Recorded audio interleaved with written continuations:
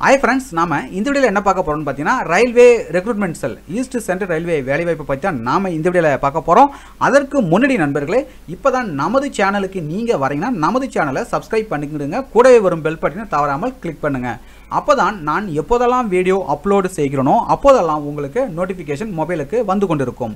அதோட நண்பர்களை இந்த வீடியோவை ஸ்கிப் பண்ணாமல் முழுவதும் பாருங்கள் பார்த்த பிறகு உங்களுக்கு பயன்படவில்லை என்றால் உங்களுடைய நண்பர்களுக்கு தவறாமல் இந்த வீடியோ ஷேர் பண்ணுங்கள் ஒருவேளை அவர்களுக்கு பயன்படலாம். ஓகே ஃப்ரெண்ட்ஸ் வாங்க நாம வீடியோக்குள்ள போகலாம்.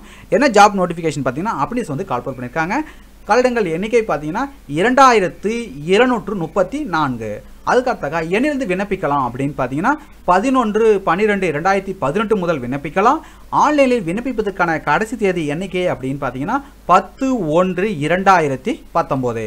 அதுக்கு அடுத்தாக பார்த்தீங்கன்னா டிவிஷன் யூனிட் வைஸாக வந்து எவ்வளோ வேகன்ஸ் என்ற டீட்டெயில்ஸ் வந்து கொடுத்துருக்குறாங்க பார்த்துக்குங்க.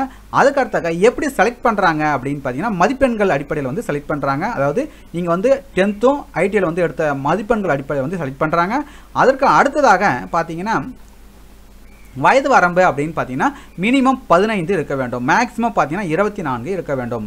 அதுக்கடுத்தாக ஏஜ் ரிலாக்ஸேஷன் டீட்டெயில்ஸும் வந்து கொடுத்துருக்காங்க இப்போ பார்த்தீங்கன்னா எஸ்சிஎஸ்டிக்கு பார்த்தீங்கன்னா ஃபைவ் இயர்ஸ் வந்து கொடுத்துருக்காங்க.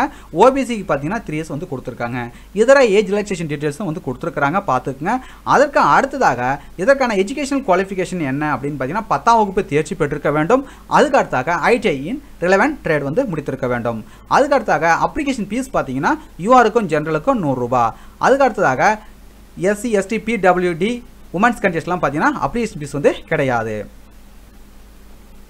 அதுக்கடுத்த எப்படி விண்ணப்பிக்கணும் அப்படின்ற டீட்டெயில்ஸ் வந்து கொடுத்துருக்காங்க. அதன்படி விண்ணப்பித்துங்க மேலும் உங்களுக்கு கூடுதல் விவரங்கள் வேணும்னா இந்த நோட்டிஃபிகேஷனுடைய லிங்க் பார்த்தீங்கன்னா இந்த வீடியோ எங்களுக்கு கொடுத்துருக்கிறேன். டவுன்லோட் பண்ணி பார்த்துக்குங்க.